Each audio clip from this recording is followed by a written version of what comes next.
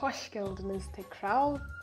Bugün beş kelimemiz. İlk kelimemiz ne olacak?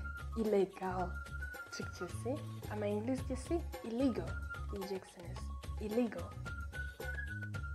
Number two, timing.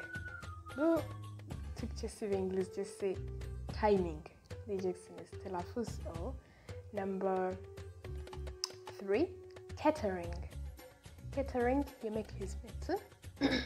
O catering. Telaffuz. Number four, departman. Ama İngilizcesi bu telaffuz birazcık değişecek ve yaz, yazılışı. Bu department olacak. Department. E. Revize bu revise. İngilizcesi revise olacak. Yazılışı birazcık farklı. So, görüşürüz. Thank you for listening.